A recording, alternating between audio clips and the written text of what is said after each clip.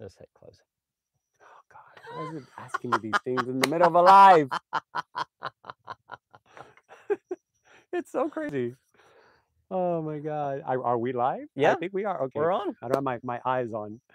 So guys, welcome back to my channel. I am Nelson. I'm Josh from the Orchid Den. And today we have a special treat on our this is our third our third anniversary live. it's our third episode doing a live. And we've been focusing more on education, which I'm really loving because we're both uh, education buffs. And Josh decided, what if we do a live pollination?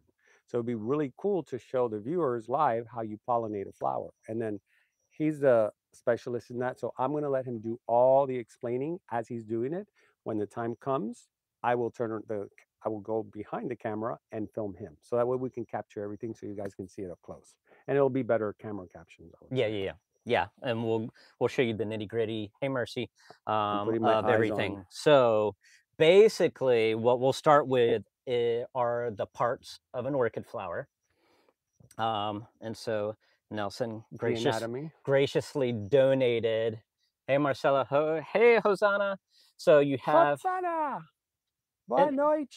the orchid flower and I'll use this so you have your your sepals. You have your dorsal sepals and your lateral sepals your two petals your lip or your labellum. This is where we get the labia from ladies and gentlemen. Um, this right here is the column which has the the anther cap. And on the bottom i'm actually going to take the lip off. So there's your lip. And on the bottom here you have right behind here is a stigmatic surface and it's kind of ooey gooey and that's where the pollen actually goes. And then the pollen trav- travels through the column into the ovule ovary, and this is where your seed pod will form. Oh, okay. I didn't know that. Yeah. So this That's is so cool. this is this is the little the baby belly. And um, once you do that, in about six months, you'll have a big old seed pod, which how many how many uh seeds use do they say more or less? oh in- gosh, like in a phalaenopsis, like that one. Uh, uh, uh, in every seed pod there's thousands upon thousands of seed. Oh wow. and so i've got some photos and so mm. you'll get a seed pod like this. Oh, the ring light. There Yeah, you go. there we go. A seed pod like this and mm. then you can see hundreds of i mean it's almost like dust. So when mm. you have a seed pod there it's about the size of your thumb. Some some in the cattleyas are a lot bigger um, but you'll have hundreds of seeds and so when you pour it in your hand and you blow on it it looks like dust. I mean they're very very minuscule and here's the cool thing. Wow, that's so cool. that is this is seed magnified 40 times and the really cool thing is you can see all those little tiny green yellowish dots on here those are the actually the embryos of the orchid seed and so they're wrapped up in like a papery sheath Could you make it bigger? Uh, my baby's messaging me um there.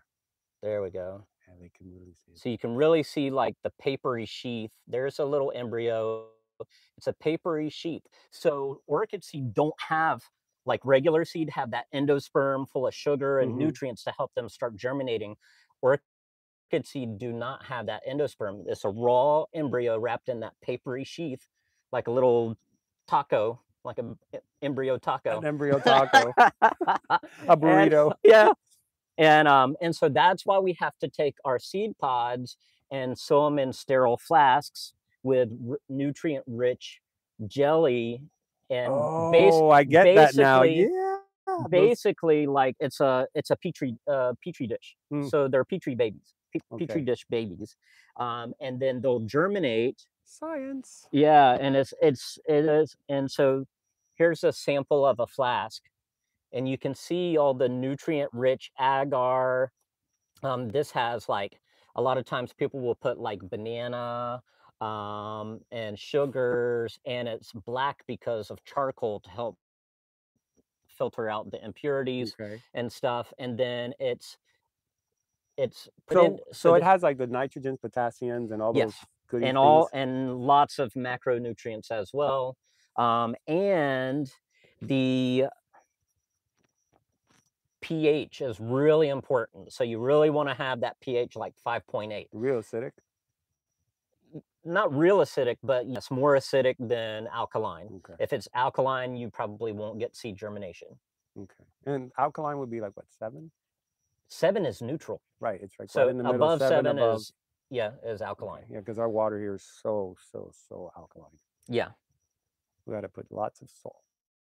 So um so there it's very scientific. If you don't know what you're doing, then it's really it's it's not worth it unless you've really educated yourself and there's lots of good edu- like books out there um, even online and stuff like that. So um, if you are interested in hybridizing i recommend like starting with one particular genus and a good thing that i recommend always is go on like orchidroots.com I you can that you can site. search that site and Mhm. you you can actually pull up their progeny of that single plant Yeah, like all the parents. yeah Every single like mother, grandmother, great grandmother, great great grand. It just goes and we, we call it the rabbit hole. yeah and then you can see what hybrids have already been made using that you can see how it influences like shape of the flower color of the flower size of the plant everything and um cheers, guys. It's so so rude. I'm here like drinking, not even cheering. cheers Cheers. um so it's it's really really cool and and I I'll go on there you know you scroll while you're waking up in the morning and whatever Kelly.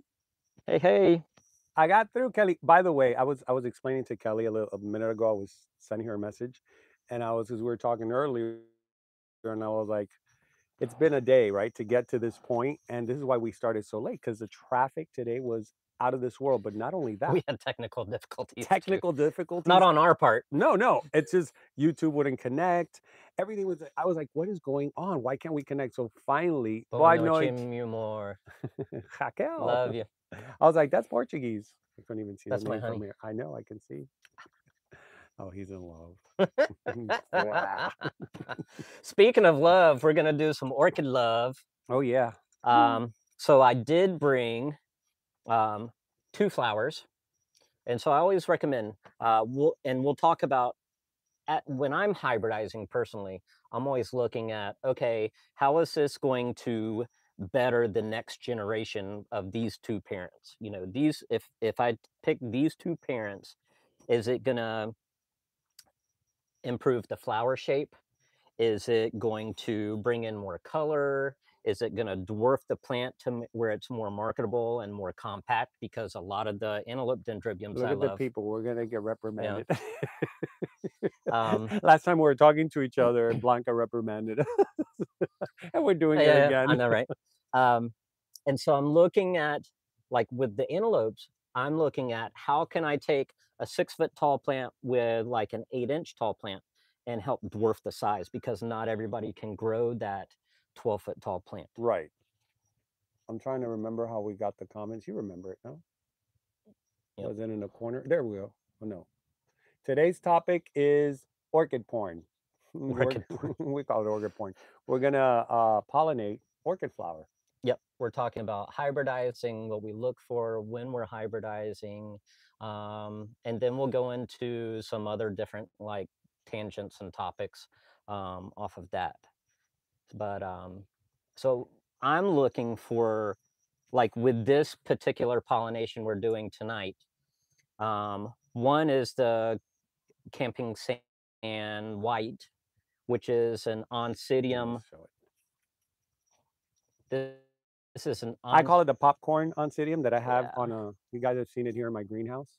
that this eventually turns white and it looks like a Yeah. popcorn. So you can see how they open up with the yellow and the lip, and then they turn like a creamy white. Um, and so this is an oncidium crossed with a tolumnia, and none of these have been hybridized before. And so I was like, ooh, when I saw the flower, and I actually had someone message me when they saw your video, and they're like, oh my gosh, do you have this for sale? And I found some, and of course I, I sold one, but I kept one for myself because I really want to pretty. add in some color to it. So this is a really, really cool. Um, this is Jairak Firm Big Bang. And so I think my ideal on this is one, we're going to add and bring in some color to this kind of regular whitish brownish plant. Um, and two, it'll probably dwarf it even a little bit more, but still be a vigorous grower because it has that strong oncidium um, background. Whereas, People like this one. yeah, yeah, It this is really pretty. this is really Yeah, cute. bring it closer. See if it comes out focused. Yeah. It's really pretty. And I like the the color combination, of course. Yeah. Cranberry and yellow. Yeah. Hi, Linda. And so, um, so that's what I'm looking for when I'm hybridizing. I'm looking for color, plant size, or shape of flower. And so, a lot of times, what you'll see is you'll see on your tags uh, that it's Lueddemanniana by self, right? We're Yes, getting very we're- scientific. Yeah, we're getting this is we'll we'll call this more of an uh, this is a serious episode. intermediate yeah, level. this is not the. I, I'm trying not to be goofy because this is very serious, and I know I can be, um, especially after this. but um, so so we'll see. We'll see how this how this does, and of course, um, so from once I pollinate this, it'll take six mo- like up up to six months for the seed pod to form. Okay. or about usually about five months in, I'll send it off to my friend who does all my flasking for me. Um, I have done my flasking in the past, but all the pottery equipment kind of took over. Hmm. So I send it out now, and um, and then about six months to a year later, I'll get some flasks back, and then it'll be ready to So unflask to see the babies form. to right? yeah and then and then be able to like you know grow them and then each flower just like me and my brothers don't all look the same even though we have the same parents uh, we all have slight variations oh goodness Ice is popping. Ice is popping hot it's warming up in here I know what's going on. That, Orchid whis- that, orchid whiskey, that whiskey's on fire. uh, and so you'll have slight variations of color you'll have slight variations of uh, plant growth because these are kind of significantly different in, in yeah, size that's what I like. That you pick two Yeah. different, completely different scales. and um, It's probably going to be more like a compacted one. yeah I, I- and that's what i'm shooting for i'm shooting for something in between so something you know like a Neostylis eight eight inch type of. with multiple grows, m- multiple uh, branching flower spikes that last a long time with some color on it. That's going to be so cool. I think I think it would be super cool. Um, and we're gonna. I'm gonna continue like updating through the channel the whole process of this. yeah, yeah. But the cool thing is that this particular plant, this particular hybrid, has never been used in making a hybrid before. So this will be its first hybrid ever made in the whole world, as long as someone else says has not used it. It's on video. Um, Doesn't matter. Proof is in the pudding. Proof is in YouTube. Um, So, so, so I think I think it'll be really cool. is this a name over here? No, you just you yeah. only- Is? Yeah. that it? Yeah, that's yes, that's the campings. I I think this it's not spelled correctly. Yeah, I was gonna say because I don't. I got my tag somewhere, but it's Yeah. in the in the thing. But I like that that's just a shorter name because my tag is like it gives you the whole history of the plant in one tag. I Yeah. have I, if I showed you, it's like, Oh and yeah. I and I think C was the one from Sierra Madre. But I that's think the he's the one that hand wrote it. that's the cool thing about orchidroots.com. So you can actually go on like Orchid Roots and go up here and search. And so this is what I search for. There's the name. It'll show you the two parents. If you click here, can I get it? You can see there's no progeny. So there's no registered hybrids with it yet. Now, maybe in another year, someone might have already used it and they're further in the process than I, than we are. And so, So that's a great way then to find out yeah, and then you can it. and then you can scroll down, you can see the two parents, what makes up the parents, and see all the ancestral um, species that make up this particular one plant. So this is really good uh, information when you're trying to look and see, okay, does the will if I take this parent and this parent and cross them, which one's going to be more dominant in flower color, which one's going to be more dominant in plant size, and then you can kind of get an idea of like, okay, if I if I cross these two together, then I'm I'm, I'm going to end up with something like this, or at least plan it out that way. Now to that pod, whatever you do now, Mhm. how is how is the appearance divided? Because when I used to breed fish, when you get uh, let's say this hybrid and this hybrid, and you cross them together, Mhm. it goes back to the wild, to the wild look of it, right? But with plants, it doesn't really. It continues crossing, right? Like with angelfish, when you Yeah. cross like new hybrids that they have now, Yeah. it goes back to the stripe, like the ones that I have, the striped wild ones. Uh-huh.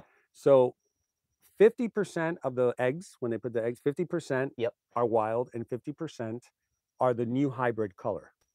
Is it the same with orchids or do they all come out pretty much in the same They type of they all come out pretty much the same, but you have like va- variations. variations? Now, now we could get like out of because red is not real, like yellow is not a dominant trait. So you can take two yellows, cross them together, and you'll end up with a red, With a red, right? Because which is really, really, really different. that happens with, Um, with hair color. Yeah, that's why I know that. and so um, so it's it's really uh, you'll have fluctuations, but you kind of go with the flow. Yeah, because that's And what like the bent fragrance when you see them. Yeah. There's variations, but they're pretty much all the same. When you start looking at them, they kind of all have that same look. Yeah. Yep. So that's what's going to happen here. that's what will happen here because we're growing from seed. Now what we'll do, what I'll do after I get the seed back and I flower them, this is a four to five year process, guys, by the way, until we actually see a flower. Um, I'll take the best of the best. So I'm, that means I have to have the channel Yeah. running we, for four or five years. We're committed, guys, just for you. Are you guys willing to stick around for four, Yeah. four or five years more of, Yeah. of us? And then what we'll do is we'll hopefully get like a, a nice American Orchid Society award, and then we'll take the the best of the best and clone it, and then those will all be identical. So I'm on board. What does it say that I can't yes, Melissa, he is a hairdresser, Yeah. a hairstylist, and Mer, uh, Mar- Mercy. Yes, you can pay to have an orchid named after you. Usually, you have to um, find someone with an un, unregistered orchid and it already has to be blooming. Uh, I know a lot of people are naming orchids while the seed pod is still forming, and I'm like, you don't know I'm- what it's going to I'm look like. really not even. I'm really against that because you don't even know if the seed is going to be viable, or you don't even know in the next two years, even after it comes out of flask, you, you might lose a whole the whole flask. yeah. So I'm a, I'm a big There's advocate promise. for you know at least having it to near blooming size before naming, but I'm even more of an advocate of you got to have a, a flower, a flower, a photo Before of the flower Yeah. Yeah, you not, register. How would you know anyway? Yeah, and most of the time that is required, but I know in cer- certain circumstances that um, people have registered them like prematurely. Good. We're up to 38, 37. Well, somebody left. Sorry, guys. You're gonna miss it because now's when the good part really comes.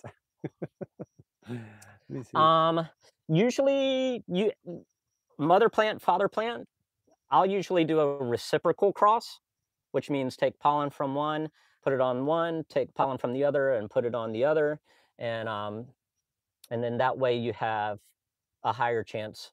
Um, I always try to have the mother plant really strong, and so I'm probably going to only put the Tolumnia pollen on the uh, this. Um, it's more of an Oncidium, the campaign, campaigns and So- white. Uh, are you guys ready to see this demo? Yep, let's see if we have any more questions. Sandy in West Hey, Palm Beach. Sandy. And Teresita says she will she will uh continue watching until her dying day or something like that. That's so funny. As long as I still am, I'm still alive. Yes. Sorry, we're scrolling through since we've been um Yeah, now now that we can figure this out. Can you what? Yes, this will be a hybrid of a hybrid because these are both two hybrids and most of the orchids that you buy today are hybrids. That's why if you go on Orchid Roots, you'll see how some of the lineage. Like one that freaked me out was um the Francis Fox. Yeah. How many it had. And, and you know what? I almost brought a gold digger, but then I started looking at all the Mm. progeny like uh, of gold digger. Oh yeah. Oh yeah. Um and one of one of my favorites, Jackie Bright, Mm, is a gold digger hybrid.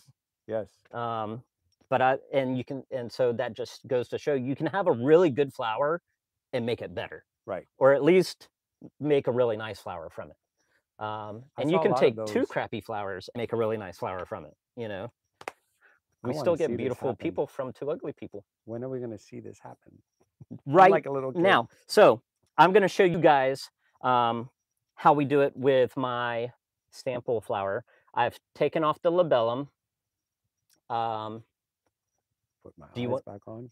I do you want me to change yeah. the camera around? yeah so Because Nelson's going to grab the camera, and Bye. I am going to actually, you know, eh, that's fine. is That's that good? Yeah. I'm gonna make this a little brighter, Yes. Only because where is it? It's on your left hand on the bottom. it There you go. Ooh, I know. blue eyes. All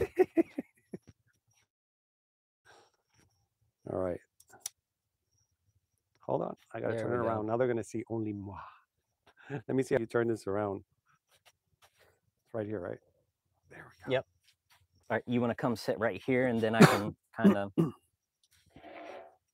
Oh yeah, this is way better. All right, so this right here is the anther cap, and this holds in the pollen of the flower, so which is the male part of the flower. Flowers are basically the reproductive system of the plant, um, and that's what we enjoy so much. So, um, this down underneath is the stigmatic surface, and it's kind of sticky.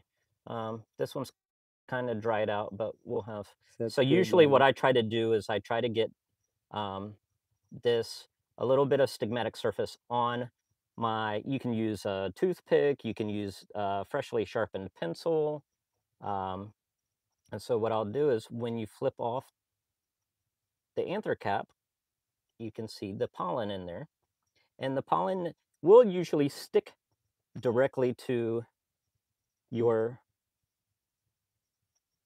and so we'll remove this, anther cap it loses a little bit um, focus because it's so tiny. Yeah. It wants to focus. There you go. When you put your hand behind it, it focuses. So there's the pollen, and it looks like male reproductive system. it does. You're right. Mm-hmm. And so then, Hold on. Let me let me make sure it focuses because if not, they're not gonna get it.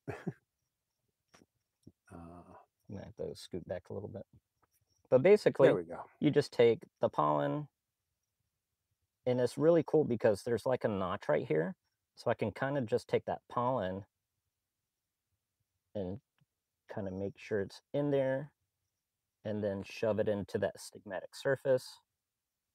And then that's basically how you pollinate a flower. Now, this flower needs to be attached to the plant, otherwise you're not gonna get pollination. But this is just our sample flower, so we can get a really good close-up for you guys, um, and everything. So now what we'll do is and I'm not sure if you'll be able to focus on this. Oh, yeah. Let me see, because it is small. This As long as you keep it, if you if you keep it close to the wood, Yeah. it will focus. And so what we'll do is and these flowers just opened this week. A lot of times with the small stuff, you'll get oh, I can see it on there. It's Ooh, so tiny, tiny. tiny, tiny. And so then I'll Don't drop it. yeah. And That was the anther cap. And now I'm just gonna hold this in my lap so we can try and so what I'll do is I will take one of the lower flowers because It's the older on flower. on the stem, eh, you have all these nutrients being pumped and water being pumped up to these. So if you try to put a seed pod up to a flower up top at the end, it's when this stem starts to go back and die, then you're gonna because this is gonna have to last six months. So I always try to go with one of the like first Oh, flowers. And That also you want to make sure it's a mature flower. So 5 to 15 days old. So 5 to 15 days old is the time frame you're shooting for to make sure that the flower is open, that it's that is accepting, that it's not too old. Just like we can't have children when we're like really old. Flowers have flower. flowers need to be mature and and full of vigor and everything else. I And s- love these. They're mhm. so pretty. and so It focuses very well as long as you keep your hand like that because it focuses on your hand, but it takes. and so I've got the pollen. It's really hard to do with a big old bright light in your face too. I know. We're And so committed to this. it's basically up in there. I'll take this pollen off. Oh, because there's one there, right? You Yep. forget about the other one that. And I just discard that. And so I want to make sure that this guy is good on here.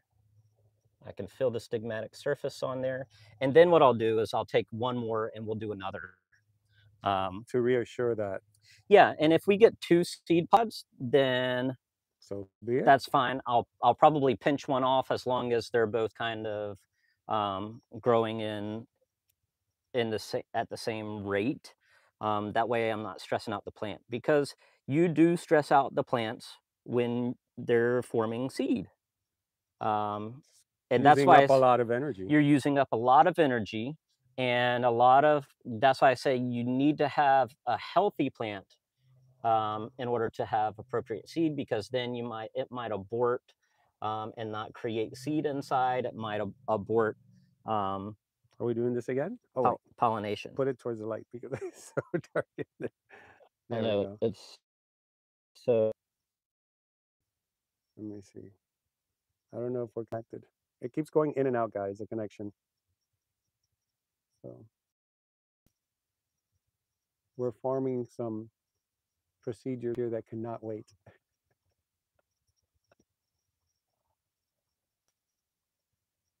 So that was the pollen, the old one? that yeah that was the pollen off of this flower i'm not doing a reciprocal cross i'm just putting pollen from the Jairak firm on here and it's stuck and that's Alright. basically it and so what i'll do now or tomorrow um, because then i have the supplies i will make a tag that says um, Tolumnia I, which is the father, by Camping Sand White, which is the mother, because we took the the father is always first in progeny because we took the pollen and then we put it on the female. So um, it'll be that'll be the the order of the names on that. Yay. And um, so in another six months or even monthly, we can do updates, you know, and um, we'll kind of tag along and then we'll kind of give updates and and we'll kind of bring you guys on for the journey. And then also when I get some of my hybrids that I did last year back starting in around maybe around June. I'll have to check with them.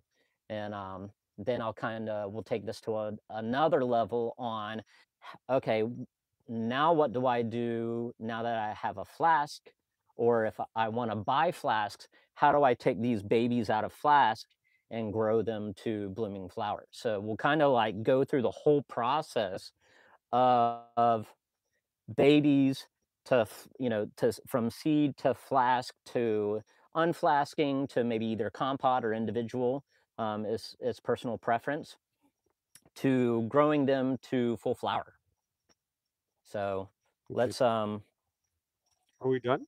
No, we're not done. Oh, okay. But I want I, I want to like, get I want I you to put, put it back here and then we can Yeah. just sit back and, and All talk right. some more. All right. There we go. Hey. This is all live and unedited. You guys are used to Yeah. my vid my videos being so edited. I got to be careful because this thing keeps slipping off. There you go. And You're good. I, yeah. I kept on going. Uh, the uh, YouTube kept on going in and out and saying trying to reconnect. Can you guys see us? I mean, it says live there. I don't. Yeah. Let me turn this. Someone on. give us a thumbs up. Um, Mercy.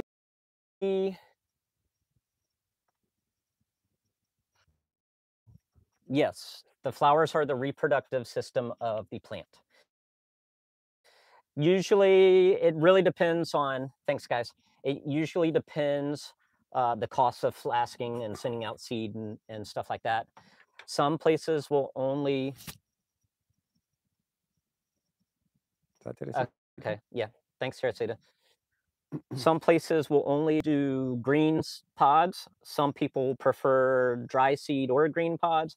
I prefer to send it out when it's green pod because then it's a lot less work for sterilizing, uh, aseptic techniques. Just going in and out. Yeah, sorry guys, that's beyond our control. yeah. Um, but sometimes it's twenty dollars just just to sow the seed, and then for replating, You can hear now. perfect. Okay. For replating, then it's another cost, and then they charge you for the the final flask. So you can easily spend up to six forty to sixty dollars per flask. Um, but then you get, you know, seedlings, and then if you grow all your seedlings out, then Yeah, uh, that's that's- probably the um, the signal here because we're out in we're out in the greenhouse. We're not inside my house. If we were inside my house, the reception would probably be a lot better. So green green pod mercy is when the pod before the pod is opened.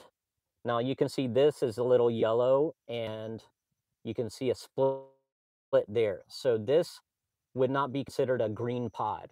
This would be um, contaminated seed. And so then you have to go through the process of washing the seed and sterilizing it before you put it into the flask because if you don't do that then you have you'll have fungal spores and that will take over all your seeds and the fungus will grow over in your sterile petri dishes flasks um, before the seed gets a chance to germinate. always Yeah. somewhere always. making your life always miserable. always. And that's why like laboratory equipment or sterile equipment is always important. Good. Yeah tanya. Um, and thanks for pointing that out. So some genera like catasetums um, and and and their intergeneric genera have will produce male flowers and female flowers.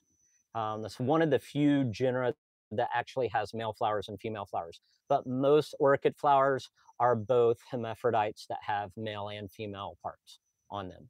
And so it's really easy to just take pollen from one flower, put it on another part of the flower. If we offer seedlings to, uh, Yeah, in about five years. that's when a seedling is Well, maybe Exactly. maybe three years. Three years. Yeah, maybe was gonna three years. Three years. Is a good seedling. Yeah. Be a good seedling, and they'll be small seedlings. So and they'll be good to mount on my lily pads or my branch mounts. Oh, I Um, wanted to show you. I wanted to show them stuff. too. My lily pad. I don't know why. but You know that. Oh, you can't see it, but in the middle, you see the Uh-huh. wood. Yeah, yeah.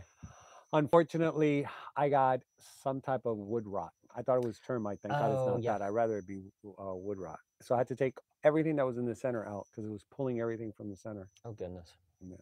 So I wanted to do a little show and tell. Well, you can always just brace it and just do uh, what we call a, a sister guys- raptor. We haven't even we haven't even focused on this beautiful background.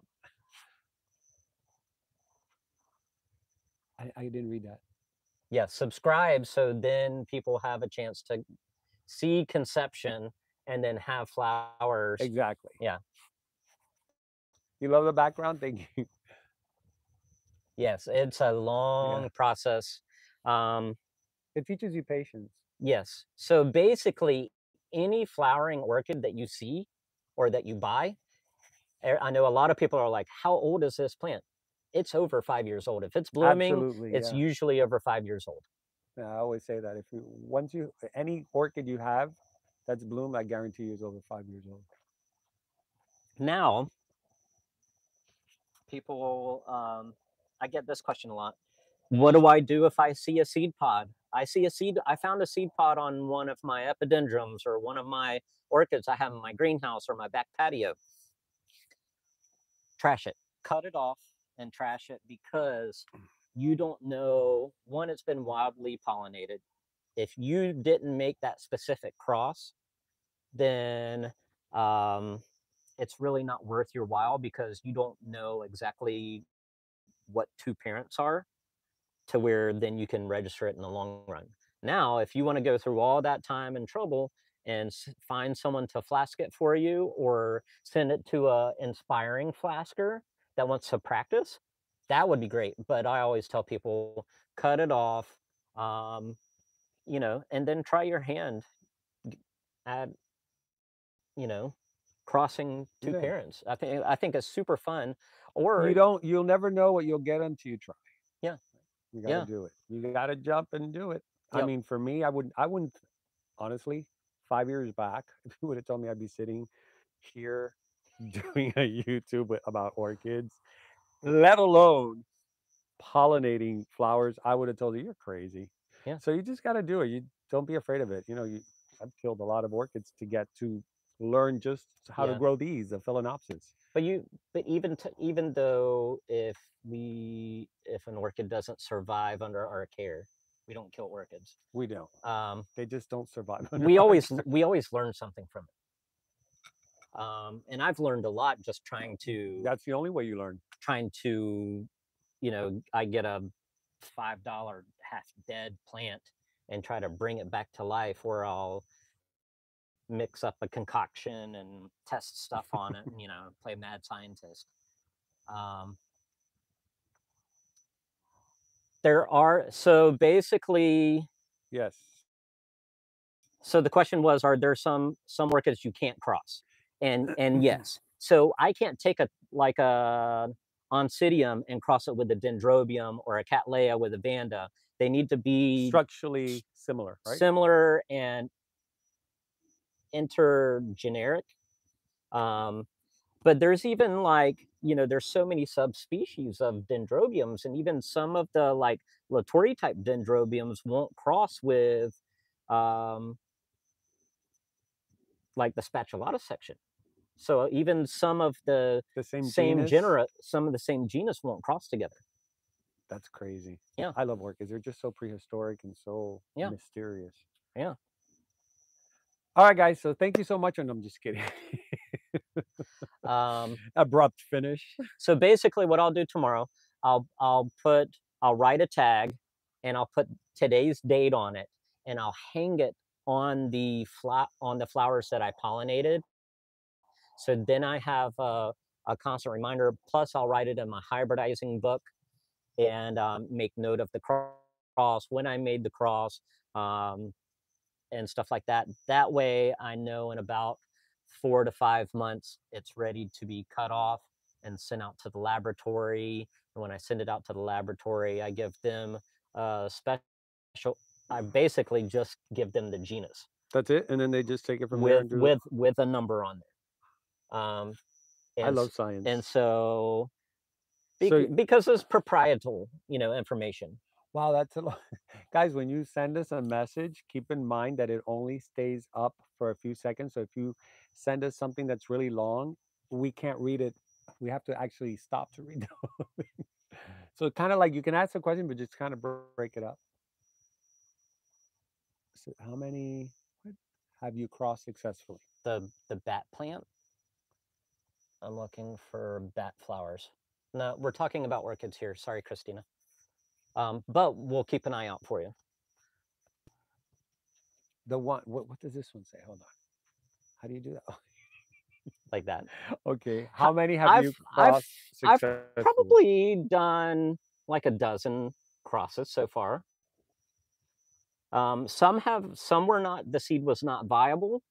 Some um, are still waiting in flask because it's it's you know about a year to a year and a half in flask, and so it's a long process. And so that's why I'm excited to start getting some of my flasks back this year, like thing- it, probably in the middle of the year. the thing is with orchids i am not very patient right? I'm, I'm a very i have to have instant gratification and i'm very hyper we were just talking about Yeah. this i'm very hyper so everything has to be fast. So the reason i love orchids is because they slow me down. It makes me like okay you're gonna have to wait for this process to happen.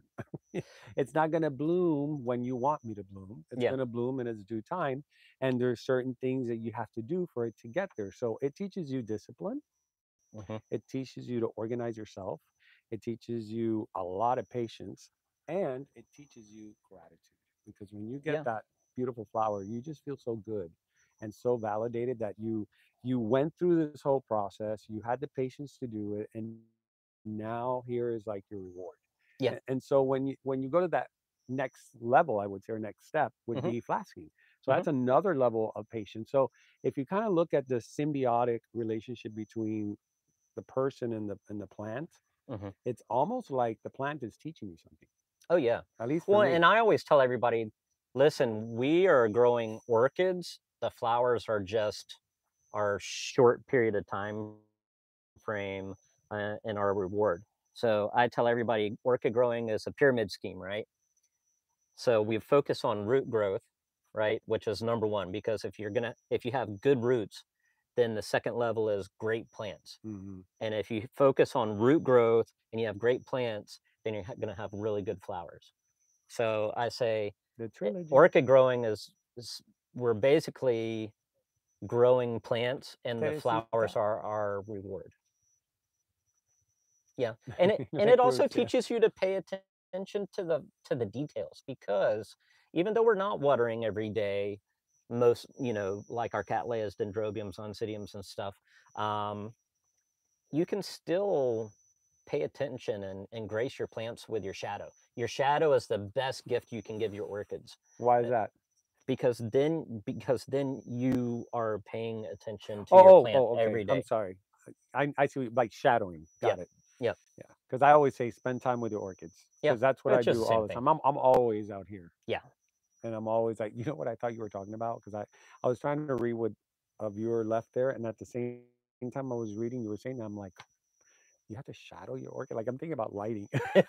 I'm like, wow, that's a new That's a new culture technique. How wow, that's really committed to your orchid. but um but yeah you know if you're paying attention to what your plant's doing are you getting you know new root growth? Are you getting a new leaf growth which is plant growth? Are you uh, looking in there to to see do, do i have any kind of insects? And uh, did this leaf have this brown spot on it yesterday? Um, and and a lot of times if you do have a brown spot go ahead and circle it with a sharpie marker. You're not going to hurt the plant tissue and then you then you know if the if it's growing or not. Um, but i always recommend being proactive use a good systemic fungicide and and use Explain u- what systemic is, because I was talking with Kelly about this the other day. so uh, I always explain a systemic fungicide or a systemic insecticide gets into the system of the plant. Um, it's not topical. The plant tissue actually absorbs this these chemicals and uses it to prevent any kind of um, back, fungal infection or insect in, in, infestation. Um, so there's a big difference between like, and that's I always tell people, Australia. "What's up?" I always tell people like the difference between topical and systemic is like getting a like a pill a versus a cream. Uh, Somebody uh, yeah, put that. exactly, exactly. I always always say getting the flu shot compared to getting treated for like the runny nose. And, right, right. Over the counter. yeah, um, afterwards. So a systemic is going to be like the flu shot. It's going to help prevent. Um, whereas in the more topical stuff is is going to um, treat issues after they've happened. Have you heard of regalia? Mm-mm. It's a systemic fungicide, organic. Hmm, cool. And it's pretty pricey from what I hear. Kelly uh, Orchids in Paradise in Hawaii, she has a YouTube channel. And we were talking about that. She just ordered it and she's going to start. She said she's going to try, but they've had like crazy weather like here with the crazy winds and gotcha. and the rain. So it's not good to do that when it's yeah. guys don't do fungicide if it's really windy. First of all, you don't want that on you. And number two, when it's raining, because it's like worthless. Yeah, so, it's just going to wash off. Yeah, you, you really nice, want to spray it early in the morning, super when early. it's dry. Let let all that plant tissue soak it up and have time to absorb it um, in there. So yeah, we were talking about trying to go a little more organic. So you know, I'm I'm going to tell you, I haven't really been spraying my my orchids that like I used to. Yeah, I haven't really. I've been cleaning them with like water and soap if I find because I'm always checking. So yeah, when I think that when you that's that's key. When you guys spend time with your orchids, at least I give my orchids time every day. Not mm-hmm. everybody has that time, but I I could be like dead tired and I will walk out here to the back and it's not close to the house and I will spend at least 30 minutes here and I'll look around because every day that you do a little bit, you're bound to come across something that you'll stop before it gets too bad. Yeah. And you can do it with less abrasive or, or aggressive uh, chemicals, which is what I've been, because before I wouldn't do that. And now that I spend more time, I'm, I realize, you know, I'm not using chemicals because I'm really cleaning them myself by hand. I'm doing what, what Smiley does. Yeah. Smiley Orchid. She does it all by hand. And I think that's what it is. It's you have to be dedicated to to your collection. Oh, they're having a conversation. Some people there. Oh no, that's for me. She purchased it yeah, that's not bad. Sixty dollars. Yeah, that's, that's not really too bad on Amazon. So you guys can order it um, if you guys want to try it out. We're not sponsored by it or anything like that, but I heard about it, and if it's organic and it, they say it's really, really good. I've heard really good reviews. It even has, I think, like five stars on Amazon. So if it's organic and it works, I'd rather opt for that hundred percent. Yeah, yeah, especially if it works. Yes, as Reg- long as it works. Regalia, yeah for all you guys that are watching now, she's um, Kelly just put it on the thing. Hey, Francis from Trinidad. Hello from Trinidad, my Trini friends. Hi guys from the New York City. I miss going there. I love New York. Thanks, Ramona. Literally. We'll keep doing them as long as we can. Hopefully for more than five years. Yeah. How's New York? How's the weather over there? I'm I'm dying to go back. I used to go to New York like twice a year and when I met Lewis, believe it or not, he lo- he's a world traveler. Mm. I haven't been back to New York. I'm like, you love to travel. We've never been to New York together. Hawkeye wants to go to New York. Maybe we can plan a trip. Nelson, can you introduce? Oh, you want me to introduce my beautiful blooms? Sure. Very quickly, because there's too many to. I will I, start I off with fall. the center stage. You yes. know, you know I was gonna grab this. Yeah. This beauty comes from it's an award-winning flower, and it comes from Carl Smith. I'm totally obsessed with this right now. I'm gonna let you pronounce it. He pronounces better than I do. This is, I mean, without looking at, it's Lueddemanniana caerulea. He's such a show off. Yeah. You know, I used to say caerulea. You know what I used to say? Let me see, because now I don't remember. Which is crazy that I would say it. Corulia. Eh, kind of right. Instead of caerulea, I would say caerulea or cor- Corulia. That's what I would Yep. say. Corulia. But this is two awarded ceruleas Into together. one, Yeah, right. Which is nice. It's And that's a nice flower. And I believe It just got it just I- got an award of merit. I, I, I thought it got uh, an award of quality. Oh, award of quality. You're right. Award of at the the Tamiami show, I believe. I love her. So, kudos, congrats, Frank. Yes, Frank, that was a big achievement. And right when I got it, you know, I I, I have gotten this. I think why am I yelling? I have the mic on. I keep thinking that. Mhm. the- hold on, let me see. What else could I introduce? That path, This one, yes, the Joyce Hagawaza. I think is how you say it. yeah, that, that's nice. That almost reminds me of a, a little bit of the um, Paph delenatii eyes. This one is a Joyce Hasegawa. Yep. There you go. I guess you guys can. and that's a really nice plant. I got this from got that, that spot, the the tiny little specks on the leaves, um, and it's got really really good. I just like- showed this on What's in Bloom that I just put it up and I was talking exactly about that, about these leaves. Mhm. They're so pretty. Mhm. And I have a mini one of this one. Did you see it? Oh, actually, I took, this chair keeps folding over to that side. I have a tinier one. Don't fall. I know this is all propped here. See, this is Cute. a little mini of that You one. got a little baby. Uh, yeah, it's fragrant. It's a very soft. Um, Yeah, I keep yelling. I keep forgetting I have the mic on. I'm sorry, guys, if I'm yelling. It is. It is uh, fragrant, and it smells um like a soft floral powdery smell. It's very Mhm. very pretty smell. you've got the lot of Jesse eye, You know what I have? I have yours, the one I got from you, and you got that at and I Tamiami, right? Yep. and I No, re- you got that before Tamiami. no, I got no. this at Tamiami. Okay, and it's still open, guys. That's this is why I've been um, selling and trying to get more people on the Paph bandwagon because they're easy to grow, just like grow them with your Phalaenopsis. I'm trying. the table won't let me. Hold on. Let me see. There we go. So this is a Maudiae hybrid. Um, it has the spots on the petals and it has some stripes You can kind of see on it. the dorsal sepal. Yeah, It's really hard to get. but the get. color's really nice.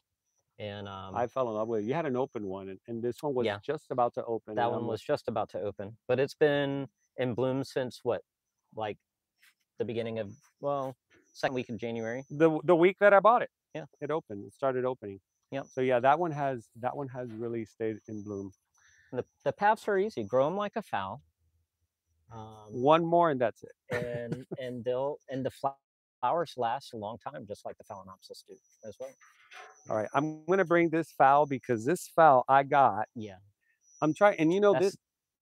This is registered. leaves. I just lost it. I didn't. I never got the tag. Somebody told me it was registered, and they gave me the name, and I looked it up, and absolutely, look at the look size. at the size of this leaf. Holy cow! Here's my hand. oh my gosh! Like really spread out. And I love the color of these flowers. two- So you have like four four sets of leaves on it, which is really nice. She's a big mama, and she's That's heavy. a that's that's a beaster. that's a beaster. She's really Yeah. heavy. So I wanted to showcase her because she really deserves it. And this, and believe it or not, here's a here's an example, and then we're gonna segue, kind of like segue into another topic. Um, this is an old spike, Mhm. and from the tip, hold on, let me see if I sit down, it'll be better. From the tip right here, They Right? put out a new inflorescence. that it put another inflorescence. That's crazy. And look at the size of it. Yeah. And it's giving me another spike here. Yep. So if you guys don't cut your spikes on your fowls, it may reproduce a whole new like row of, of flowers like that. Yep. Because one of the conversations I was having today, Um, nerding out with with I Kelly. don't I don't think that's too fragrant, is it? No, this is not fragrant. Yeah. A lot of the fowl, uh, a lot of the a lot of your fowls won't be fragrant. I know like some of your species like Bellina and your Amboinensis. Um, I'm sure there's a, a few more of the species are fragrant. Sorry. I didn't mean to do that. All right, we're back to normal. Yeah, that one, that um.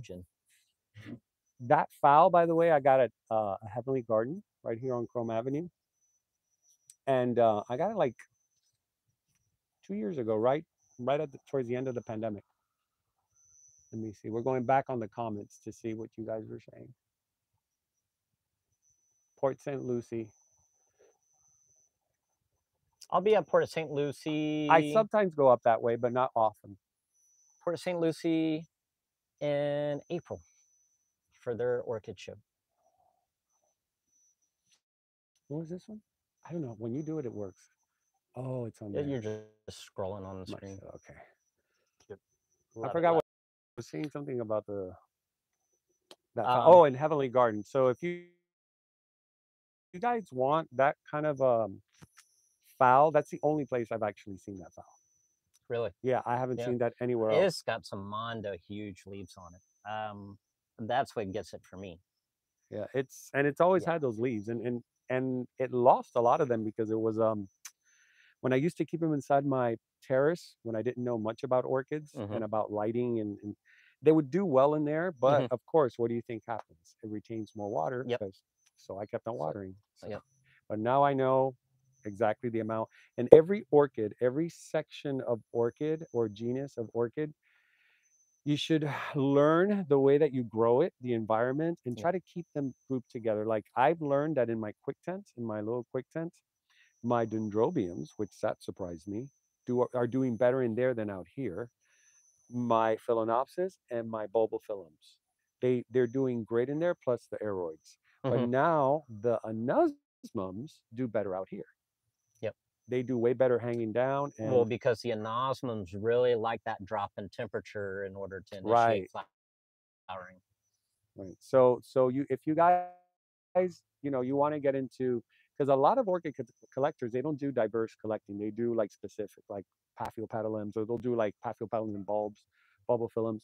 Mhm. I'm like I'm very diverse. Like I like as many as I can grow. It doesn't really Yeah. matter which kind they are, and if I can grow them, I try, and if I can't, then you know I won't. I'm pretty diverse, but I Yeah. specialize You in like the specialize in dendrobiums. Yeah, See, most people do. because I, those are my favorite. yeah, but I've, I I've yet grow to a lot of specialize other in anything.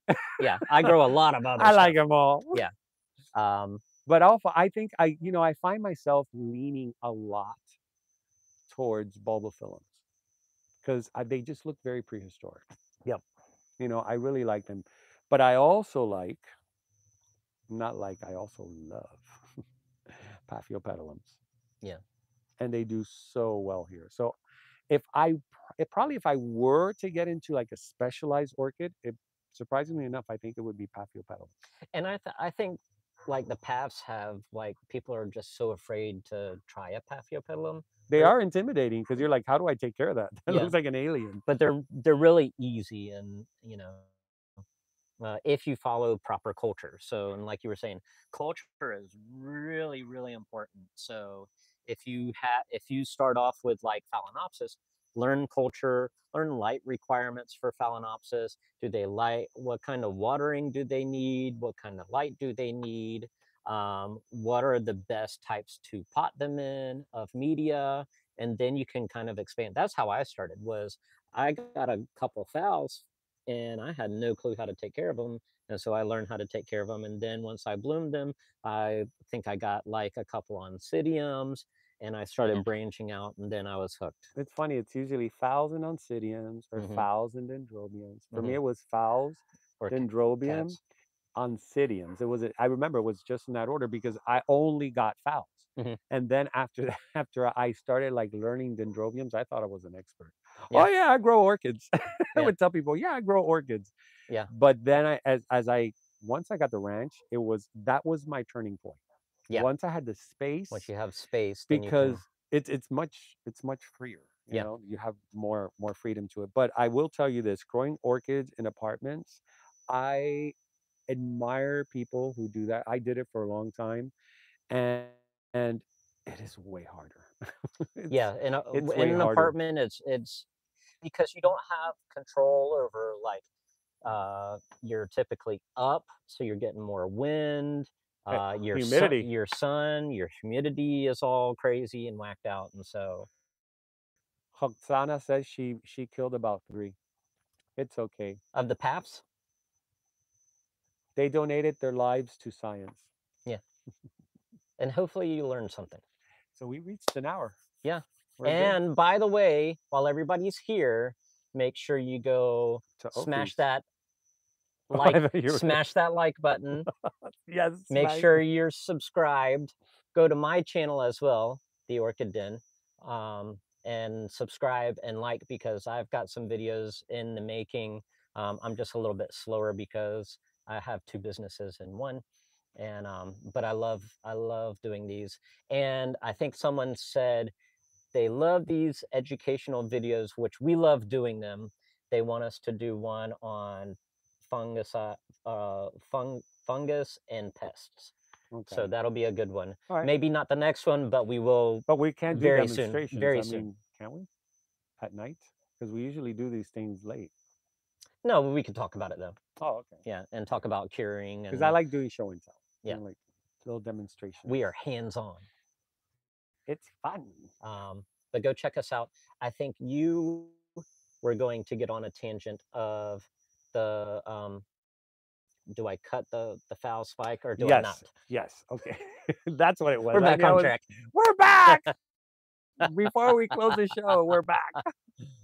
Um, we're talking about how the flower spike of an orchid. See, plants use pretty much energy on the whole entire plant. Like once the flower dies, the actual stem, the plant will absorb that as energy, right? Mhm. From the spike. Mhm. So the question was, should we cut the spikes or let them stay there so the plant does his entitle entitle entire entire um process of absorbing the energy from the spike and because phalaenopsis they don't always most times and not they don't always dry up No, they don't. so Um, so my philosophy and my here's here's my opinion on this. If you have an inflorescence and the flowers drop, I always cut it back back to the plant. Okay.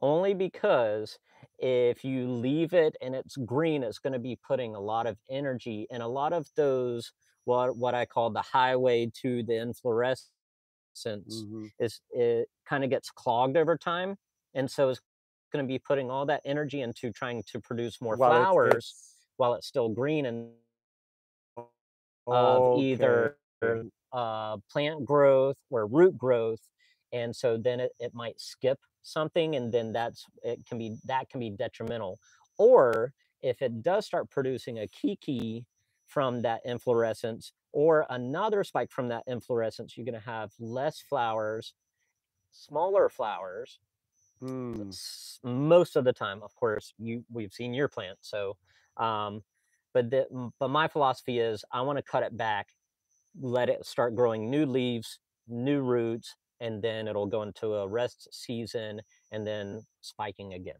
and then so there's basically four seasons of orchid growth.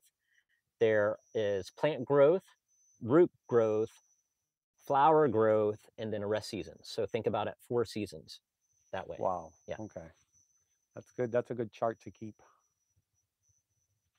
um, jeremy aloha jeremy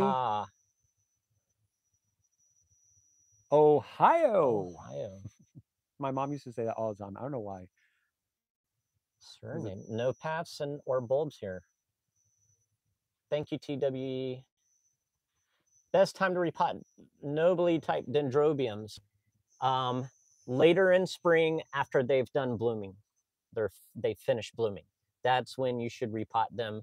Um, you don't want to repot them in winter because then you're kind of disrupting their dr- drier, cooler months when before that's going to initiate flowering for them. So you don't want to disrupt that winter kind of rest for them. Wait till after it's done flowering, then repot it and let it grow because Hi, then it's going to start putting out. They should already start be putting out um, new growths, and then that new growth is going to have new roots um, here probably like April, May, and then you're going to be in really active growth because we're not in quite spring yet. We're kind of like pre-spring, but it's been warmer here. Um, let me ask you something Mhm. Did you see were there any other vendors over at ophis today or just you No, there were other vendors here. Did you see like nice stuff? Maybe you can tell my viewers. I did. Give, oh yeah. I did. Oh, you did. When did Uh, you tell them? Huh? No, I, I saw. I, I did. I'm like, wait, I I've been here the whole time. Stuff. I No. did see some good stuff. So, um, okay, So I thought you were. I thought you were saying. Never mind. oh my god, I'm so tired. um, so I know Orchids 365 will be there. Uh huh. Which is tomorrow. If you guys are in Miami, by the way, at the in the Redlands, I've already announced it. But Ophies is having. the- Is it bi-weekly now that they're doing this? Um, It feels that way. no, I, I, Or is it I think monthly? I think there were a couple months where they did it every other. They did two in a month, but Okay. from what I know, it's once a month. Okay. So Usually just- the last, almost like the second to last or the last week of the month. All right. So let's just say monthly. Yeah. So they do these monthly um Canada, Alberta. Brr, Alberta. I have friends, I have a lot of friends that live in Canada, and every time I go over there, the first thing they say is, How's the weather in Miami? That's what they always ask me. But I Mhm. love Canada. When I went to Canada, I, I actually told Lewis, I go, I could see myself living in Vancouver. It was so beautiful. Beautiful, beautiful place and beautiful people. Oh, next week. I don't know. Oh, they are doing another one next week. That's why Oh, I'm saying it feels it feels bi-weekly sometimes. Okay. So, anyways, if you're here, I don't want to lose my my thought process here. If you're here, join. You can go pay a visit to Josh. You're gonna have your new pots here that are beautiful. Yeah, I've got some of the. He always forgets to bring stuff to show here, so it doesn't matter. you know, it's a long day. And he comes, by the way, he comes straight from putting up tents and dealing with plants and dirt and everything. So he's literally in the rain. in the rain. After I- driving six hours. after driving six hours, well, I almost I felt like I was driving six yeah, hours here. yeah. Oh, it was horrible. So if you guys are down here, pay them a visit. They have um, they have amazing, amazing vendors. I know Carl Smith is going Yep. because uh I saw some things that they were sending over to uh to Ophies. And I will be there on Sunday. I will be there filming during the day, early, early in the morning, and then after that, I will be going to Roxy's home from Orchids 365 Mhm. to do a home visit. So Cool. I'm gonna do. I'm gonna. Are you uh, doing a live with her? No, are no. you just doing a recording? Just a recording. I'm Okay. doing a, uh uh showcasing uh her Cool. collection, which is something I want to start doing. Yeah. So get ready when I Yep. go to Jacksonville. I'm ready. I'll go and I'll showcase your collection. That'll be fun. That'll be fun. I'll be Yeah, because I've got a new growing area now. Yeah. Okay, you guys heard it. So It's done deal. besides my greenhouse, I have a new growing, a whole different growing area now. Funny again. What What's so funny? What? I don't even know what I said that was funny. Uh, there was there was some. Uh, Oh, oh, New York. Thank you for joining us from New York. It's not detrimental to water plants when they're in bloom. It can be detrimental to fertilize plants when they're in bloom because if fertilizer gets on Oh, that's your so flowers, um, You know that that's one of those things that I was I'm, I've been doing my fertilizing every week, and I'm very much about just fertilizer roots. I don't like to touch the leaves. I don't feel like I need to. I get great great results with just touching the roots, and I noticed that I I messed up my um my Angraecum Crestwood last year. Yep. I sprayed and it hit the flowers and it had spots and freckles. So whatever you guys do, please fertilize just the roots. Don't hit the if it's Yeah. in bloom. If it's not in bloom, you can fertilize the whole thing because I do my Yeah. like that. I do the whole thing. But if it's in bloom, just go to the roots. There's no need to Yeah. hit the, the flower area. and and that's why a lot of times you'll see grower like commercial growers and stuff they strictly use the time release fertilizer because then all they have to do is just water and they're still getting just plain water on the flowers if And they're in flower and but then they're still getting fertilizer. Oh, you know what I just plant. ordered? A nine gallon sprayer. I'm so excited. I get it next week. Does it come with like a roller It comes with wheels. it comes with battery, lithium battery, rechargeable, and I don't have to pump. I don't have to Yeah. do anything. those are the best It's lightweight. those are the best the uh the battery sprayers In Shanghai. Wow, Shanghai. nice Nice. That's that's a place I would love to visit as well. I want to visit every place. I love planet Earth. I find it so beautiful. And I love I love culture, like Mhm. rich cultures, you know, where you and good food and good food. Yeah, right. Um, Thank you guys. So make sure you smash the thumbs up button. Bring, bring, cheers. We went over an hour. Uh, I said we're only going to yeah. stay an hour. We're an hour and 10 minutes, so we're going to close it off. Go subscribe. Go go watch all of the your previous videos, um, our previous lives because we've got some pretty good information. I know we get off on tangents, but I think I This think we've the got some really good info out there. yeah, already. we're getting good info. And the thing is that it's like anything that starts new, guys. This is this is only our Thanks, third Mercy. live. So Yeah. as we do more of these, it's gonna get better. It's gonna get tighter. I mean, I was looking at my first video the other day. I, I said, let me see. I haven't seen it since like back then, and I decided let me go see and and compare the first video. If you guys do that, you'll see how funny the first video to the latest video. It's like it's like funny. it's leaps and bounds, you know, but everything is like that. There's a process of of maturity and Mhm. You know, this is something that's maturing. And you know, with time we're going to get better and faster and we're going to have be- more information at hand because everything is like, you know, we we work, we have lives.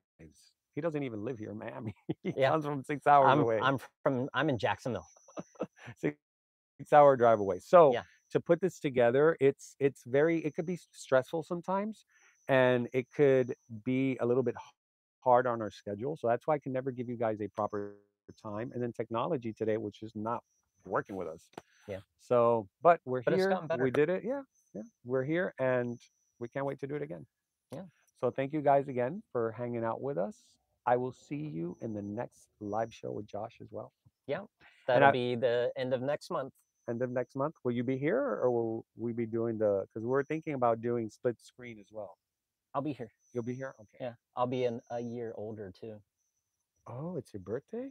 Yeah, March twelfth, guys. We have to get a cake. We had rum Holler cake at your last boy. time. What, what what is it? March what? 12th. 12. Oh, you're a Taurus. No. Wait, no, March. I'm, I always Pisces. think May, Mi- Pisces. Fish out of water, guys. Sorry. All right, guys. So this is the end of the segment. I am Nelson. I'm Josh from the Orchid Den. You have been watching live with Na- Nature Nel and Josh. and we're so delirious. And I will see you next time. And remember to always, always keep it green. See you next time. Bye, guys. Bye.